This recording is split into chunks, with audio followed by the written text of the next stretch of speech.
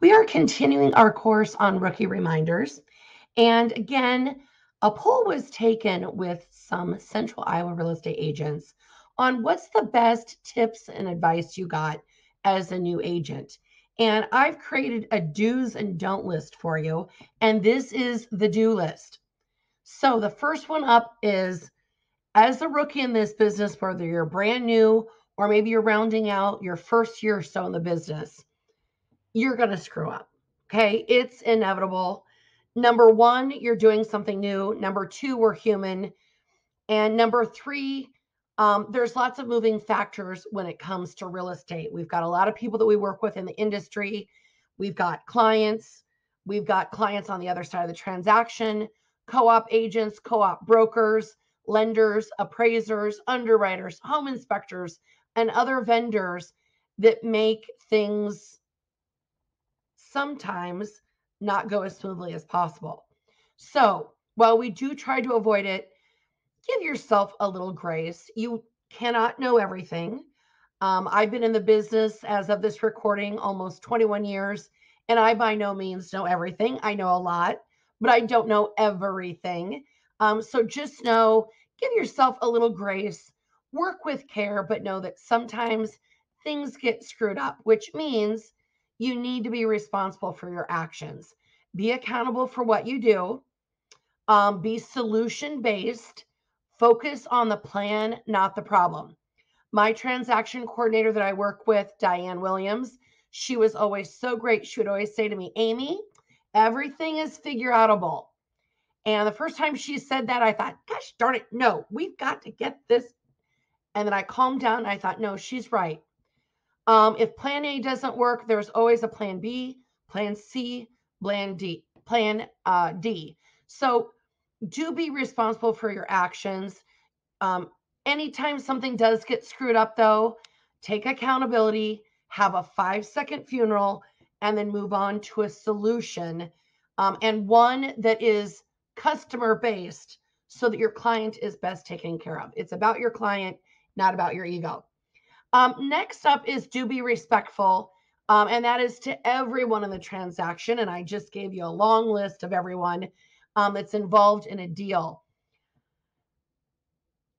I know sometimes these transactions might feel tense. I know it's tense um, for our uh, for our clients. I read an article once that said buying and selling a property is the second most stressful thing to losing a spouse. So everyone can kind of go through a lot during these transactions. Um, I know agents are really um, motivated to get a commission check and make people happy. But in the process of that, really do work to be respectful of everyone in their transaction. Um, they're just trying to do their job. I do want you to be an advocate for yourself and your clients, of course. Um, that's one of your number one fiduciary responsibilities. But I also sometimes think that we miss the idea of just giving each other a little grace that maybe there was a bad day, maybe there's a health issue, and maybe we just at the end of the day need to be a little bit more respectful. Next up, and this is probably a big passion one for me, is to stay up to date on real estate matters. That could be laws that change. Um, I know that the Iowa Association of Realtors every year sets a plan of what they're going to do during the legislative period and what bills they're watching and what ones they're looking at to propose in order to protect home ownership and in order to protect us as real estate agents. Um, Jen Kingland is the lobbyist for IAR, and anytime you get to hear her speak, please do so. Um, I know that in February, they usually do a bus in day to the state capitol where agents from all over the good state of Iowa, great state of Iowa, let's be honest, bus in and go and meet with different um, legislators, lobbyists. There's usually a guest speaker. Pay attention to those things um, in laws, state and local. And then also, I'm going to put on that list any lending changes. There's different lending regulations that can happen.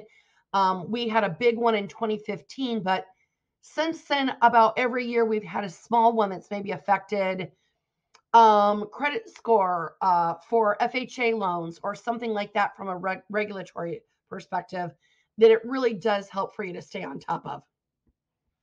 Next up is pay your taxes on time and create a business budget. Um, as a rookie in this business, you might be thinking, Amy, I've not made that much money yet. Or maybe you've made a ton of money. Wherever you're at in this story, make sure that you hold some back for taxes and your business expenses. It's really hard when you get a really big fat commission check. Maybe you just had a six or seven thousand dollar check drop into your account. You think, woohoo, money bags, money bags, money bags, I'm here. Settle down. Not all of that is your money. Some of it belongs to Uncle Sam. And it's just so easy to get on this treadmill in real estate of thinking, oh, I'll make up with it with the next commission check. Oh, I'll make up with it with the next commission check. And a lot of agents end up postponing their tax period, doing an extension, paying unnecessary fines. Get in those good habits from the beginning. And I promise, I promise when you take control of your money, you will feel 10 feet taller and um, you'll really have a lot of confidence in your business. Um, work with a financial planner. Um, this was great advice. And I know it kind of goes on with creating a business budget and a household budget. But financial planners are great even when you don't have any money. That's probably when you need them the most. So that when you do get money, you know what to do with it. Um, the only thing I'll say about a financial planner is they're probably not going to recommend the last thing on this list and is buying um, rental properties. I know a lot of financial planners maybe don't always look at your rental portfolio versus looking at stocks, annuities, Roth, IRAs, things like that. So meet with a financial planner, but buying and investing in real estate, you already know this business. Um, you're in this business. you've got first opportunity to see properties as they, they become available and um, becoming an investor could be a great way for you to have a second income in real estate. And I know that you're just getting one business launched, and I'm already suggesting another. But here's what a lot of people don't tell you, and maybe it doesn't really get talked about in pre license because you're working so hard to get your license. The world in real estate is great buying and selling, helping clients, making commission checks but it is even better when you've got a second stream of income. That's what takes you from good to great. So I would consider what that might look like um, to build a rental portfolio.